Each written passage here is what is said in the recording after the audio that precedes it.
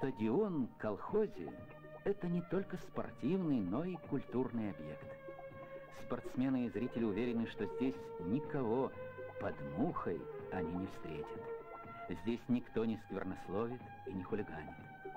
Согласитесь, это уже немало.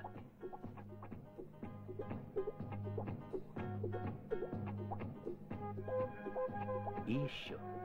Колхозные спортсмены занимаются под руководством штатных тренеров, которые зарплату получают из колхозной кассы.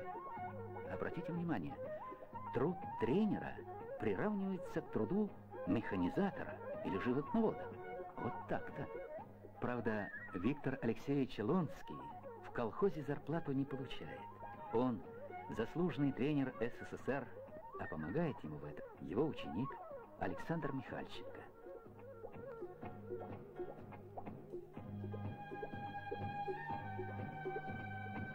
Сбудется ли их мечта, покажет время. Главное, она уже поселилась в ребячих душах. Меня зовут Журавлев Саша. Учусь я в шестом классе, мне 11 лет.